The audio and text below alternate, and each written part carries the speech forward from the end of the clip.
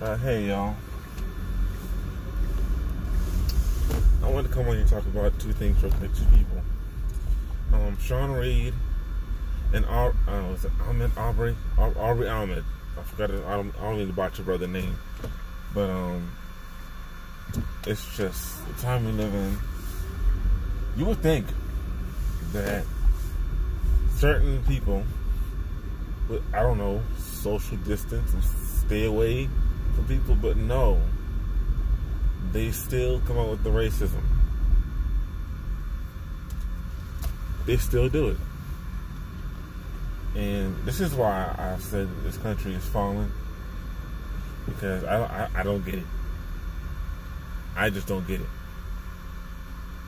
How can you have such a deep hatred for people who have done nothing to you?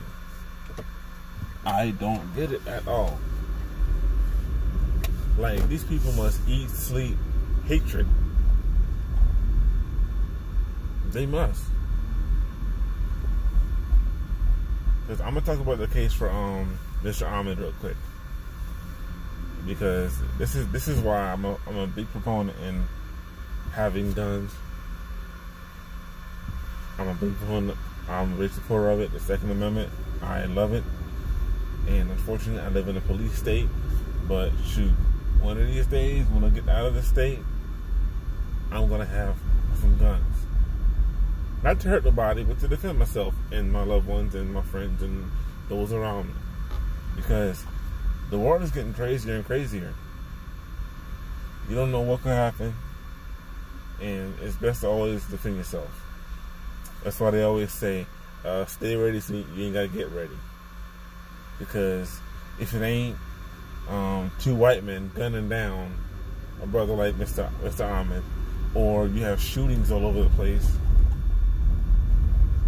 it's just crazy. It's ridiculous. And the thing about this is, you know what? I wish the death penalty on them them two people, them two white men who, did it to that brother. I wish the death penalty on them because they had no business doing what they did. No business, and it's it's a shame. How is it? The brother just taking a jog, taking a jog down the street, and you get in your truck, you and your son, and go confront this man and kill this man. Now, this is one thing. I have to say this because maybe, maybe I'm crazy. Y'all let me know in the comment section. Y'all let me know. Because if I thought that someone robbed something and was doing something wrong, would you not call the police? Would you not? Maybe I'm crazy. Because last time I checked, if I could see that, you know what, that person did something, you don't know what that person has on them. You don't know. Only a fool is going to run up on somebody and do all that kind of mess. Because I promise you this. This is why I said I believe in having guns and defending yourself. Because I do believe if that brother had some guns, he probably would have had a, better chance. Most definitely. And he's in, he was in Georgia, so the gun laws are probably a little lax down there. It should be. And to me, this is why I again I say, have guns, support that. Any anyone who says they against they against the um, Second Amendment, I'm against them. Forget about it on that issue. I believe in it's the right to have guns. I honestly believe that every American citizen, everyone who has come to this country should be should learn to use multiple types of guns and learn by law and be required to be trained in having a firearm and defending yourself.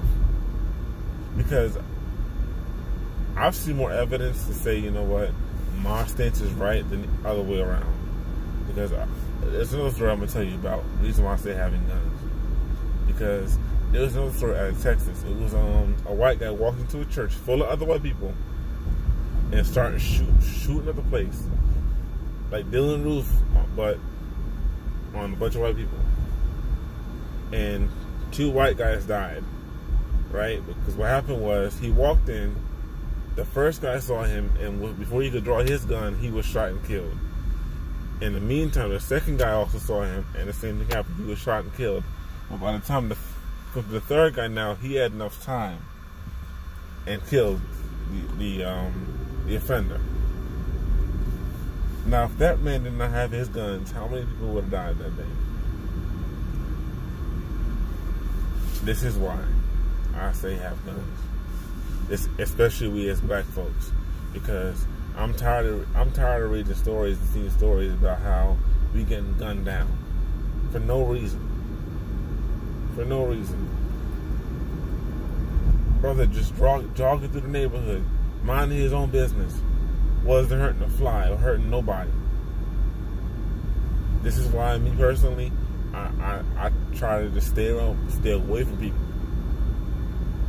especially those of that that group. Not saying that they're all bad, but I'm not gonna risk it because at the end of the day, this is why I tell people, yo, I'd rather be around other black folks that think like me and be around people who have common sense. Because I, it, it, I just get so tired of seeing them stories, man. Sometimes I can't even watch.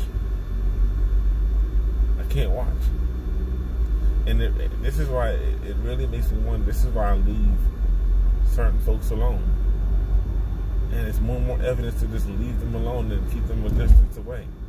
Because actually know the story with Sean Reed. I was watching on YouTube about his story, and he was in the he was in I think it was the, the military. Yeah, the military. I don't remember what branch. Maybe it was the Air Force.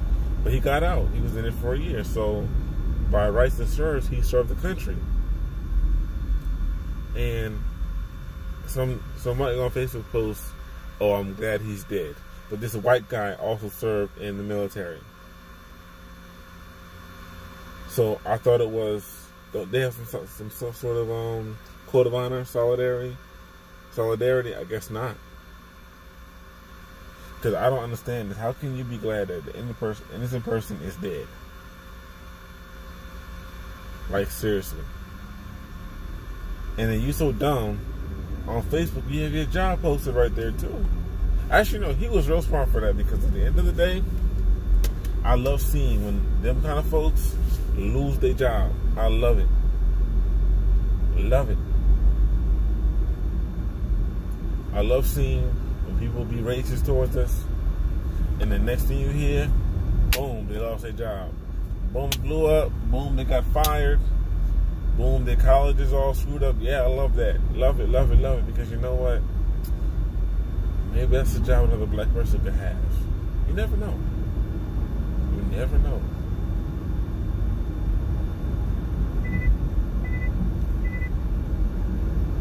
Because you would think all of this that's going around, all this coronavirus, you would think that it would open people's eyes to realize, you know what? This virus is really hurting everybody it's not responding to. I mean, if you notice, it's really globally, it's a certain, it's affecting a certain group of people. But you would think that people would just realize, you know what? Let me not go do that because I don't know if he got coronavirus. I don't want to get no tussle with him. I don't want to get a call from, from nobody. Let me just stay away. Let me just not say nothing or wave high and bye, and that's it. And the one thing I don't get is they got a thing with um called running with Aubrey. Aubrey. What the heck is running gonna do? What's you running for? It ain't gonna do nothing. That's not gonna bring that brother justice or that family. It's not. What's gonna bring them justice is payback against them two white men. Three of them, actually. I think it was the third one who recorded the video. That's payback. That's justice. It's going to be justice if they get the death penalty. I hope they do. And I want them to.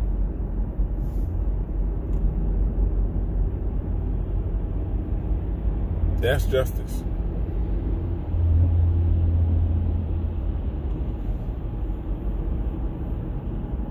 And I'm just tired of seeing stories of that's dying. This is why me personally, I, I don't believe in spreading negativity. I don't. I love seeing stories about black people doing well as a family. I don't. I don't care whatever. If you're gay, a lesbian, from the continent, Jamaican, whatever. I love seeing stories about black folks doing well and promoting the black things.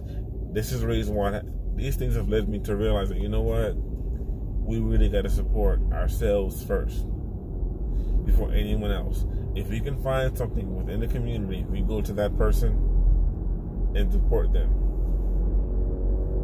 Because you notice, during times like these when we shot down, there's no other group coming to help us out. None. That's why I don't really mess with the Asian businesses at all. I'm not saying that every Asian is racist, but them as a group, yeah. Is every white folk racist? No. As a group, yeah. And that includes Hispanics. Because some Hispanics are white. Or even so, you have a lot of confusion because seen videos of even Hispanics being racist towards us. That's why I'm like, you know what? Whatever happens to y'all happens to y'all. I don't care.